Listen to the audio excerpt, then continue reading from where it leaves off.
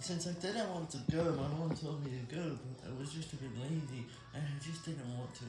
So, instead I just stayed in my room the whole time, and once she got to me, I decided that, well, I should start hitting myself again, because I didn't like that. Whenever I make her sad, I just do it.